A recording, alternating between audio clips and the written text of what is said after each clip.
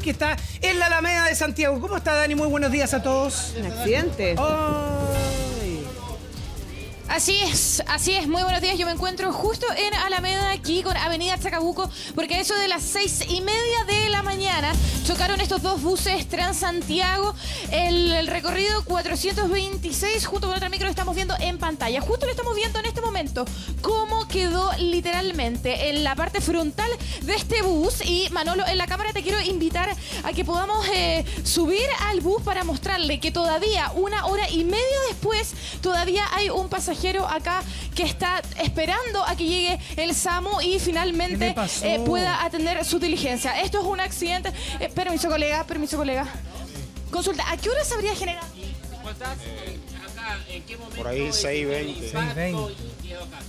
Eh, la Sí, verdad, rato. eh, el impacto fue tan duro que yo lo único que sentí fue cuando salí, eh, donde estaba sentado, salí hacia el otro lado del, del golpe. Pero lleva una hora y media esperando a que llegue el Desde la hora de la colisión llevo aquí esperando porque ya me revisaron los primeros paramédicos que vinieron, me examinaron y me dijeron que tenían... ¿Y le duele algo en este momento? Claro, yo estoy- la pierna, la pierna y, y el hombro como tal. Pero usted sigue aquí sentado porque todavía no puede caminar. Eh, no puedo caminar, no me puedo mover. Ya los carabineros intentaron moverme y no rápido. pudieron. ¿Qué le ha dicho carabinero? Usted lleva una hora y media aquí sentado. Eh, que no, que tengo que esperar la ambulancia, pero la verdad no sé cómo funciona el sistema de salud. Como te puedes dar cuenta, soy extranjero, entonces no sé cómo funciona eso. ¿Y el impacto del momento cómo fue? La gente gritó, la gente se cayó al suelo, no. Claro, fue desesperante, fue muy feo. Sí, la gente rodó.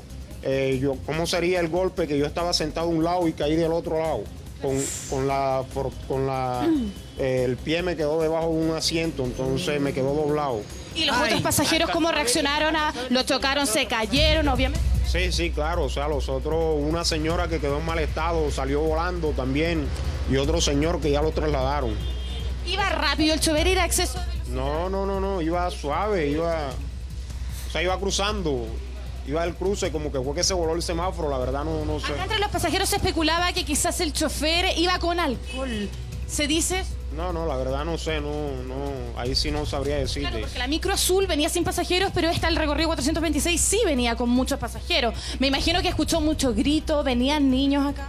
Eh, sí, venía un bebecito y, y- ¿Qué pasó con ese bebé? No, no, salió ileso, gracias a Dios. Eh, la verdad, o sea, como te digo, la, la más afectada fue una señora de 60 años que, que quedó y otro señor, ¿Cuál es su nombre?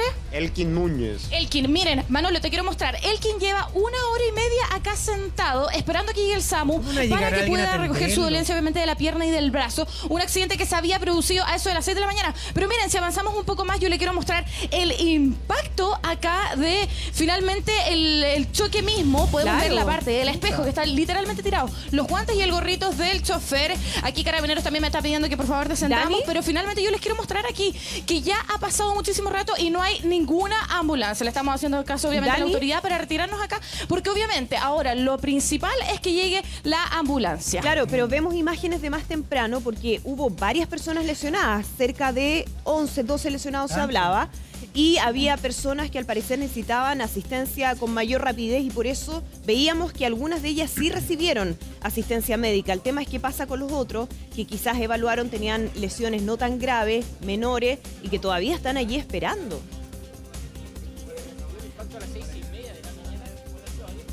Claro.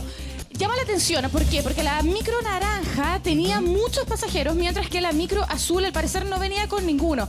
Pero lo que sucede es que nosotros estamos acá al costado, permiso, si podemos hablar con ustedes, ¿cuál es su nombre? Gerardo Babés.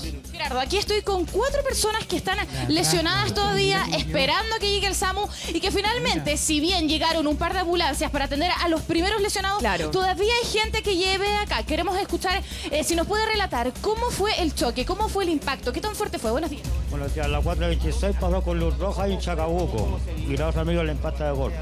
Claro, y el 426 habría pasado la luz roja y habría impactado a la micro. Claro.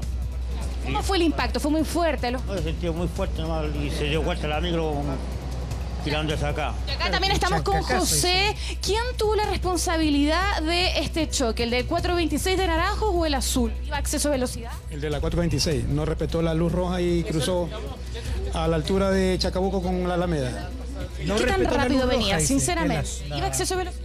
la verdad no, no nos percatamos porque todos veníamos en la, en la hora que era, de seis y media de la mañana, lo que sentimos fue el impacto. Claro. ¿Qué sintió usted en el momento? Usted me comentaba que había las señoras gritando, había un bebecito también en la mí. Sí, ellos se lo llevaron igual la señora con un caballero tendido en el piso y gritaba, lloraba la se señora del el dolor. acento también. ¿Usted a qué atinó a hacer cuando vio, por ejemplo, a esta señora tirada? Eh, tratar de calmarla porque la señora pedía que la levanten, no se la podía mover hasta que llegue la ambulancia y le dé la asistencia médica. Estaba muy grave, Dani. Alcanzó a sujetarse porque me comentaba que venía bien fuerte amarrado. Es que si no veníamos sujetados de la manilla esa, salíamos desperdigados por la ventana, si el vidrio explotó. Usted me comentaba que habían dos personas que estaban graves, el chofer y esa señora que me comentaba. ¿Cómo está? chofer, dos personas en el piso. El ¿Qué chofer, tan grave? Tenía eh, los Claro. vidrios rotos en su cabeza, ya estaban o sangrando. sea, sangre en la cabeza, en la cara y vidrios en la cara, algo así. Ya ellos rápidamente se los llevó la Se los llevaron, se los llevaron. Sí. Claro, pero el problema es que usted también lleva aquí una hora y media y justamente ese es el llamado que hace. El compañero que está ahí también y no nos atienden.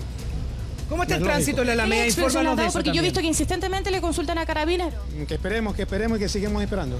Claro, aquí cuatro pasajeros que están eh, esperando, pero Nacho, respondo a tu pregunta. Solamente hay una pista que está que impide el tránsito porque están estas dos eh, micros Transantiago estacionadas, están esperando a que se realicen todas las pericias y sobre todo, como les mostraba anteriormente, hay un pasajero que continúa ahí y es por eso que no se puede mover porque esa persona no puede caminar. Entonces está esperando a que llegue la ambulancia. Pero las otras tres pistas al costado izquierdo, mirando hacia el oeste, transitan, eh, no hay problemas de, de taco en este momento. Incluso el tránsito está bastante expedito porque solamente es la pista de solo buses que está al costado izquierdo del paradero la que está ocupada. Obviamente ha- esto ha producido bastante temor en los pasajeros, la mayoría de ellos también extranjeros que a diario nos comentaban que transitan por esta vía, transitan por este recorrido y nunca, pero nunca había ocurrido un hecho así en donde 11 pasajeros eh, fuesen los lesionados. Daniela. Muñoz desde la Alameda, muchísimas gracias. La del momento, esperemos que lo vengan a buscar muy rápido. Eh, pero seguimos con